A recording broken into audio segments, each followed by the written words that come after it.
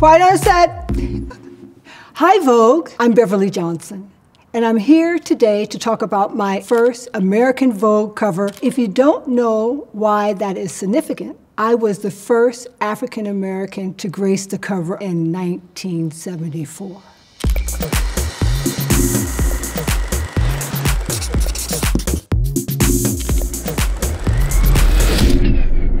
My father was a steel laborer, my mother was a nurse. The only magazine at our house was Ebony. I was quiet, an introvert. I was a competitive swimmer. I swam in Junior Olympics. I had dreams of going to the Olympics. I was an honor roll student. The civil rights movement that I saw on television, that's when I got the idea that I wanted to become a lawyer. Because I thought, somehow I would be able to help that situation. I, I don't know, that's where I got it from. I had nothing to do with the fashion industry whatsoever, and it was my mother who made me work in a fashion boutique in Buffalo, New York, that led me to the world of fashion. Mimi, the manager of the Ginny shop, would always tell me if I ever give up this idea about becoming a lawyer, I should become a model which I thought was ludicrous at the time. And so she gave me this telephone number for someone in New York. I went off to school in Boston. I was 17 going on 18. And I found myself out of a part-time job, so I remembered I had that telephone number. So I had to convince my parents that I wanted to work as a model part-time, just for the summer, as opposed to going to college in Northeastern University. It was a hard sell, my dad wasn't having it, so my mother went against my father's wishes and called the number and we got an appointment with Condé Nast, which was in the Graybar building in New York City. So off we go, my mother and I.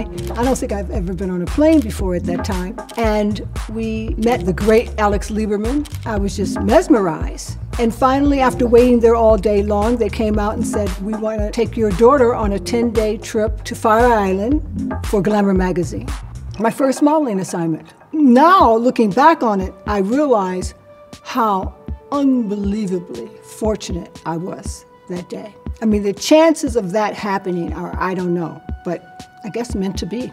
In the 70s, there weren't any black makeup artists or black hairdressers, so they really didn't know how to manage my hair.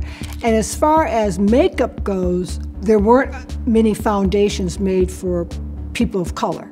Not only that, the actual film that the photographer shot did not have a spectrum color for people of color. So it was an industry that was tailored around the white, blue-eyed, blonde woman. That was the American ideal of beauty at the time. That was the girl next door, not Beverly Johnson. We had just come out of the 60s and the civil rights movement, and you know, as far as we knew, we had overcome with black models everywhere. So by 1973, I was a working model and I was traveling the world. I got with Eileen Ford, which was the biggest and best modeling agency in the world at that time. My face was on all of the Glamour magazine covers. People would recognize me in the street. It was a big deal, I mean, for me. So I had a meeting with Eileen Ford. I said, Eileen, this is what I would like to have. I would like to have a cosmetic contract. I would like to write a beauty book. And I would like to get the cover of Vogue magazine. She said, you'll never be on the cover of Vogue magazine. She said, who do you think you are? I knew I was not going to get that cover there, so I changed agencies. I went to Wilhelmina to get that Vogue cover. So the idea that there had never been a black person on the cover of Vogue never crossed my mind. But being on the cover meant that you won the Oscar. It meant that you had a gold medal. And that's where I wanted to go. I wanted to be the top of that profession. And not just the top black model, I wanted to be the top model, period. I knew I needed that Vogue cover.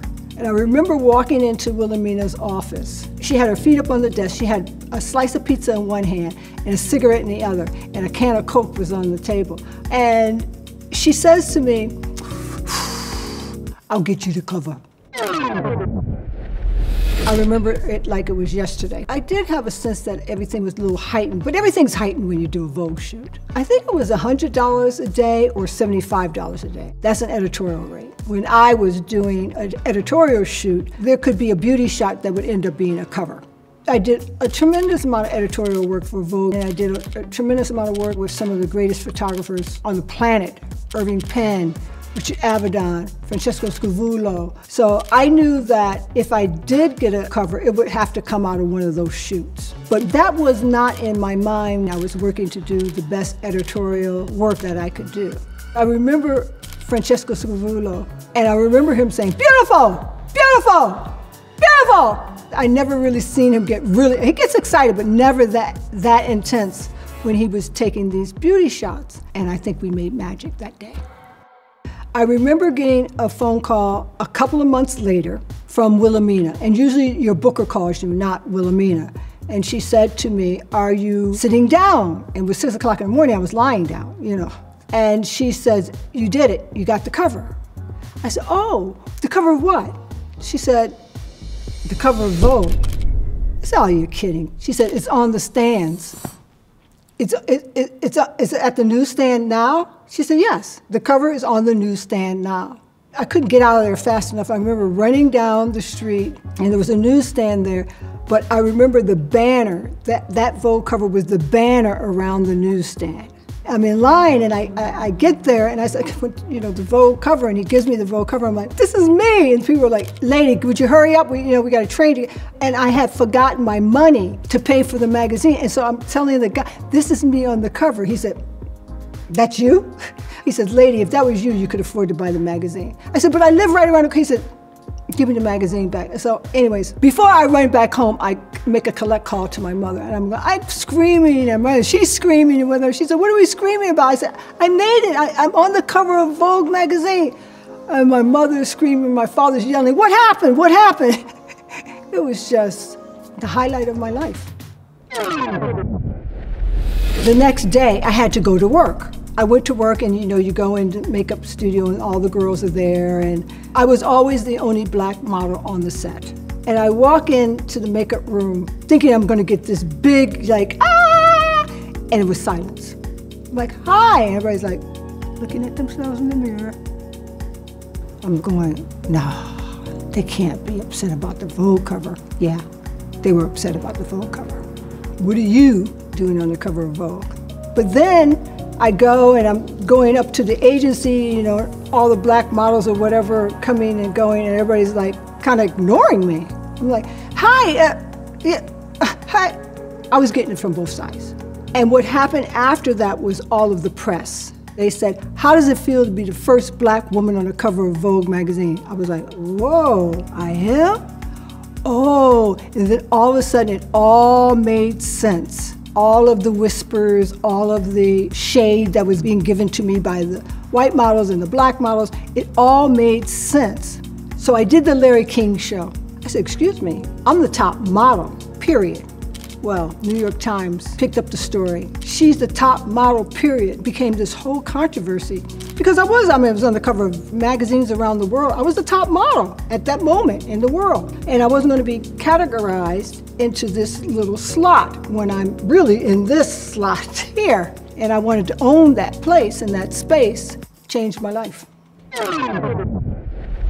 Being the first black woman on the cover of American Vogue and the impact that that had globally I realized I really had some soul searching to do, but also some history to know about who I am, where I came from, and really what this struggle is really about. The civil rights movement wasn't as permanent as I thought as a young person. That Vogue cover meant that we were being acknowledged and saw that we too are American and we too are beautiful. So it was a huge responsibility to a young woman that just wanted to go out and party and meet a nice guy. And now all of a sudden I had this really heavy weight on my shoulders. And I wanted to make sure that I live up to that moment. And I do feel that hiring black models is good for your bottom line as a business. I don't know why they didn't know that all along, but it is. And I think that the floodgates really opened up. Because if you don't see someone and you don't sit down and talk to someone, they're not a part of your world. And so we really became a part of the fabric of fashion in America because we were being seen on the covers and in the pages. But now I think it's important that we participate in the economics of those industries that are making money off of our, uh, our cultural talents. So that's why I came up with the Beverly Johnson rule to the fashion industry. I suggested that you interview at least two people. You don't have to hire them, but two people for the board of directors of these companies because we all know that policy is made in the board of directors and they pass it down. I don't know what my legacy will be or what that will look like. I'm a transformative person, I'm a positive person, and I believe in people. I believe in the human spirit. So that would be a nice legacy.